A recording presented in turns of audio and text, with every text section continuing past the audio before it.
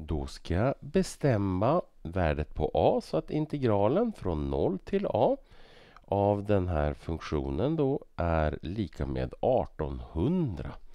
Så då ser vi här då, då får vi ta och dela in det här området i lite figurer, lite rektanglar.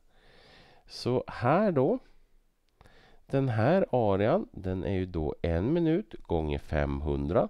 Så den här arean är ju 500 meter.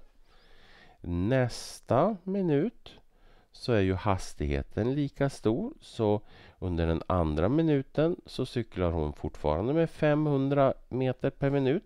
Så arean här blir då 1 multiplicerat med 500. Så den här blir ju 500 meter.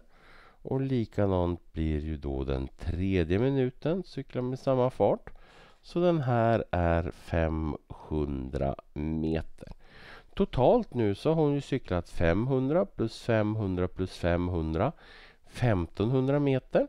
Sen sjunker hastigheten så nästa minut cyklar hon med 300 meter per minut. Så nästa minut blir ju då eh, 300 meter.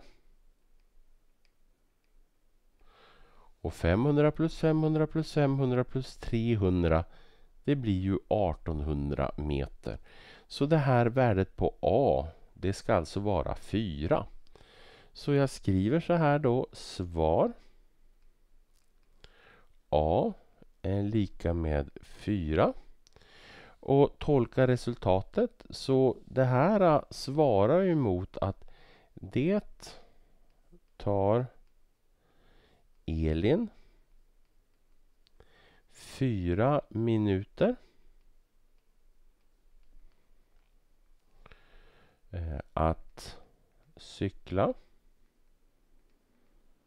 1800 meter. Sådär.